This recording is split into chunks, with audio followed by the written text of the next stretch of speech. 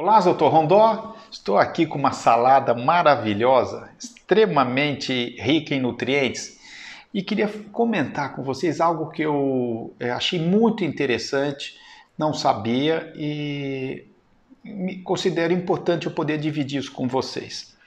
Porque desde a antiguidade se usava azeite, vinagre, sal, pimenta nos temperos de salada. E nós usamos isso é, recebemos isso de geração para geração e não contestamos, aprendemos a gostar porque realmente dá um paladar interessante. Você acha que é só por causa do paladar? Não.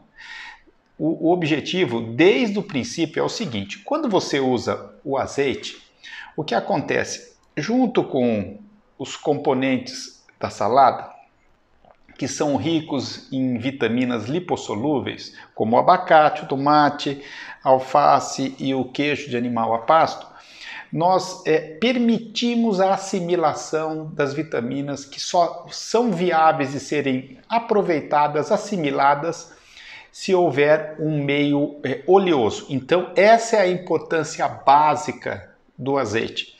E, além disso, nós usamos também, já se usava o vinagre. Por que o vinagre?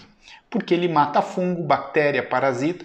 Então, uma forma de nós conseguirmos uma proteção, como já vem sendo feito na história.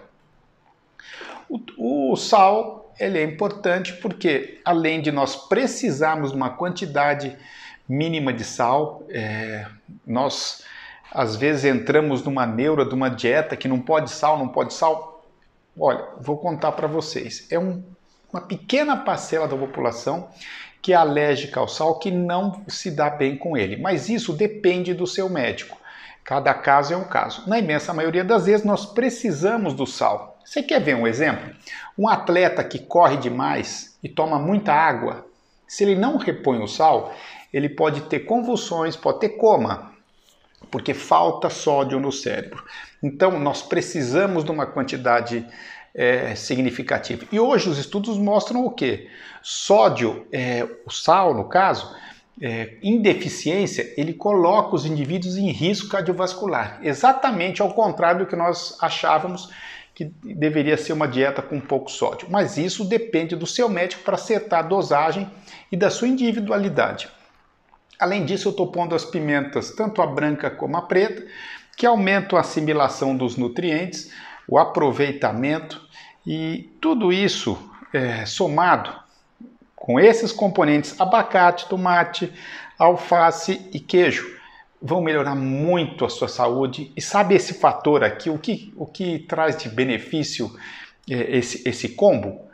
Número 1, um, bom humor, saúde, alegria, equilíbrio emocional. Sem dizer emagrecimento e, e, e saciedade. É isso. Espero que você tenha gostado dessa, dessas dicas e se você gostou desse vídeo, clique aqui. Se quiser receber novos vídeos, clique aqui. Quer saber mais sobre isso ou sobre qualquer outro é, assunto de saúde?